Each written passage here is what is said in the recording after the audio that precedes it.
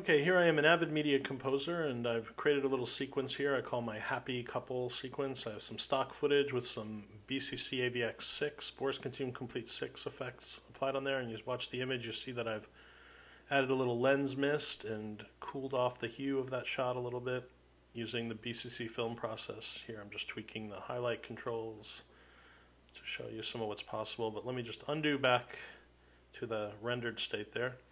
This effect, as I step in, you'll see that there's a glow, and then there's a halftone, and then there's that same film process image treatment, and I use that to animate from white back to the image.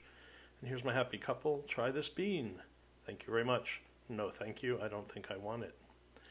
And here we have a transition, little, and then a little transition to the other shot of the pan, and um, I step in, that's got a, it's a radial wipe with noise, and then there's that same film process on there. Step back out. Is this carrot cooked or not? Hmm, no, I don't think so. Put it back, please. Okay. And then finally, there's uh, another wipe using um, some lines, randomized lines across there.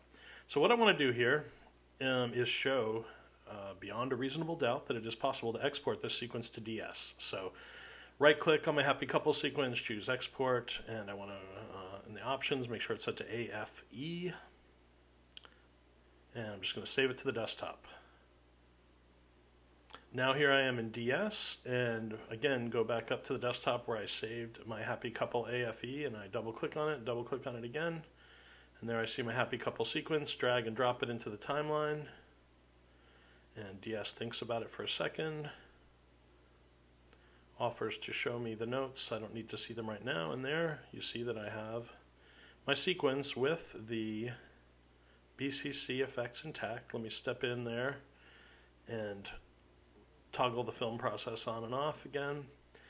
So you want to use AVX2 effects and there's my little flame transition. And you'll see that DS, um, if you have BCC6 AVX2 for DS installed, you're able to conform from Media Composer um, just fine.